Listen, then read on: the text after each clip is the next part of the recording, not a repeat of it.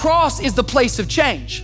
We wear crosses around our neck. Why? Because a cross around your neck or a cross on your wall or a cross in your car. What is it? It's like a stone when we cross the River Jordan. We place it around our neck, we place it in our home because we remember, we commemorate, we honor, we revere. That's the place of change. That's the place of change.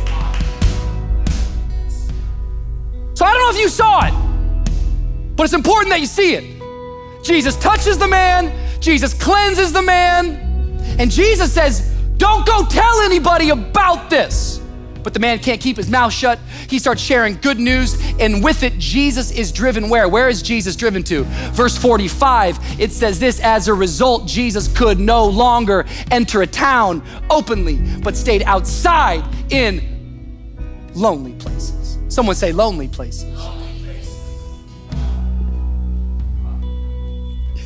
The story begins with Jesus in the wilderness as an insider in the presence of God, but the story ends with Jesus as an outsider in not a solitary place, but a, a lonely place. But isn't this the gospel? That the outsider, known as the leper, who was outside the city, who lived his entire life as an outcast, one touch from Jesus and the outcast, well, he got to change places with Jesus. And the outsider becomes the insider who's clean. And the insider, known as Jesus, now becomes the outsider in the lonely place. Why? Because the best way I can say it is that the place of change is a change of place. Place of change is a change of place. A change of place. What do you mean, Rich? Yeah, that's the gospel. That Jesus didn't just die for you on that cross. Oh, Fred, it is so much better than that. He died as you.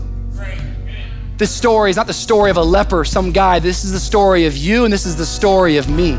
That every one of us, we are the outcasts, we are the lepers, we are unclean. But thank God for His grace, thank God for His mercy, thank God for Jesus in action. Thank God for the gospel that Jesus Christ, He came and declared. Guess what? The place of change is the moment that I change places with you. I'm gonna change you from the inside out. I'm gonna take your death so that you can get my life. You're gonna receive my reward and I will take your consequence. Is there anybody out there who's grateful for the cross of Jesus Christ? That at the cross, everything changed. At the cross, He took my place. Come on, if you believe it.